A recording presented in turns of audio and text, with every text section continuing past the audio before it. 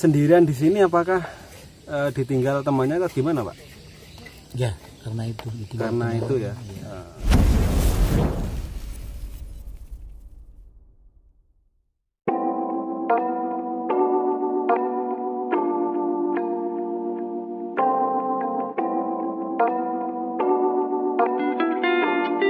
Oke, assalamualaikum warahmatullahi wabarakatuh. Kembali lagi bersama KKYT. Kali ini saya bersama Pak siapa? Pak Nuim, Pak Noim dari Toli Toli Sulawesi Tengah. Ya. Eh, saya mau bertanya Pak, Iya, kok sampai sini tuh ceritanya gimana? Asalnya kerja di mana Pak? asalnya menggesek sebelum kerja di sini.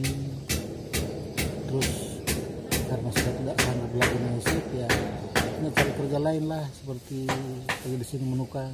Oh, Bergabunglah sama mas-mas lah gitu. Jadi sebelum kerja di proyek sini berarti kerjanya di hutan Pak ya? Hutan, menggesek. Sudah berapa bulan Pak di hutan Pak? Tiga bulan. Tiga bulan ya. Eh, kok sendirian di sini apakah eh, ditinggal temannya atau gimana Pak?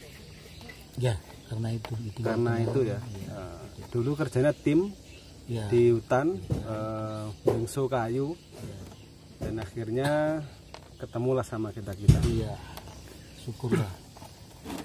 Eh, untuk di hutan itu sudah berapa bulan Pak? Tiga bulan. Tiga bulan Pak ya. Terus sampai sini sam- sekarang sudah empat bulan berarti di Kalimantan ini Pak ya. Lebih empat bulan. Empat bulan. Nah untuk gajinya gimana Pak? Alhamdulillah lumayan. Kalau gajinya itu sebetulnya lumayan Pak ya. Ya, lumayan. Cuma cuma gimana Pak kok sampai pada kabur itu? Apakah apakah nggak kerasan atau gimana di hutan itu Pak? Maksudnya bagaimana? Eh, kok sampai pulang itu loh Pak? Teman-teman. Iya teman-teman. Ya kayaknya enggak hasil enggak memuaskan terus pekerjaan juga enggak menyesuaikan jadi Jadi mereka mengambil keputusan harus pulang harus pulang itu Pak. termasuk saya juga seperti itu kan daripada kita kerja punya hasil mendingan kita pikir jalan lain jalan terbaik. Jadi sebetulnya itu kalau kerjanya itu hasil Pak ya, cuma kita sendiri yang Iya gimana yang nggak bisa menentukan hasilnya sendiri hasilnya ya. sendiri betul, betul. Sebetulnya nuntut Pak ya kalau buat ber- berapanya berapa berapa gibek Pak? Borong itu borongan berarti, Pak? bukan harian Pak ya? Borongan Borongan. Oh.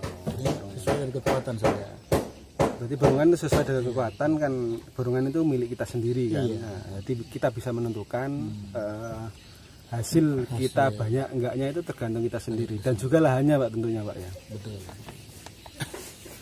Eh, dari Pak bosnya dulu gimana Pak? kalau bosnya baik Kalau bosnya baik Pak ya. Di katanya kemarin pernah sakit Pak. Ya, Eh, sering. di, di digendong malah iya gitu. sering sering Itu sakit apa Pak? sakitnya sering sakit asam urat Oh asam urat. Nah, berarti lambung oh lambung. masuk ke rumah sakit itu. Kok sampai digendong itu gimana Pak ceritanya? eh, bukanlah digendong sekali cuma istilahnya dibantu untuk Dibantu jalan. untuk Karena jalan mau ya? digendong ya karena kaki saya nggak bisa jalan karena Jadi di, dirangkul gitu Pak ya? iya Oh, oke. Itu dibawa sama bosnya dulu sampai ke rumah sakit Pak ya? iya Berarti baik, apotek apotek oh, baik betul Pak ya? Oke, eh, demikian cerita dari Pak Naim. ya Eh, kita lanjut lagi kerjanya.